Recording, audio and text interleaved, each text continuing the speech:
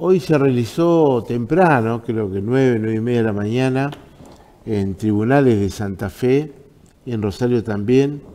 en el hall de tribunales aquí, frente a la Casa de Gobierno, una asamblea comandada y organizada por el Sindicato de Judiciales, Juan Pablo Langela. Eh, como estamos viendo, mucha gente, los tres pisos, planta baja, planta baja, primero y segundo piso. Ahí se lo ve a la Angela, con los colaboradores de la comisión directiva, eh, con los integrantes de la comisión directiva y los trabajadores que estaban allí. Se decidió por amplia mayoría, yo diría por unanimidad, cese de actividades mañana por 24 horas con sin asistencia en los lugares de trabajo. Paro sin asistencia en los lugares de trabajo en el día de mañana reitero, lo decidió el Sindicato de Trabajadores Judiciales hoy en la mañana.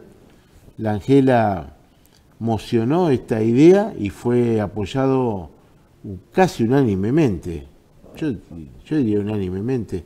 por todos los trabajadores, así que mañana miércoles no va a haber actividad en el, en el gremio judicial, en el Poder Judicial de Santa Fe, no va a haber actividades, así que vamos a ver cómo sigue esto, pero el gremio endurece